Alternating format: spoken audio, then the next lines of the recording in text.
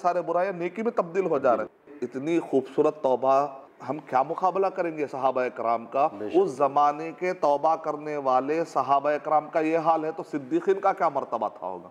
उसके बाद अबू सुफियान रज़ी अल्लाह ताला और उनके बेटे मुआविया रज़ी अल्लाह ताला 20 साल तक 20 साल तक उन्होंने एक ऐसी खिलाफत संभाली कि दुनिया की तारीख की खुलफा राशिदीन के बाद से लेकर आज तक की तारीख में सबसे पावरफुल तरीके से खिलाफत को संभालने का कारनामा मुआविया रज़ी अल्लाह का है। वो किसके बेटे हैं? अबू सुफियान के। इसका मतलब क्या निकला?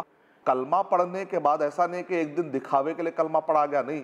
उसके बाद की ज़िंदगी पूरे ख़ानदान वालों ने मिलकर सर धर की बादी उन्होंने लगाई इस इस्लाम को प्रमोट करने की माशा सुबह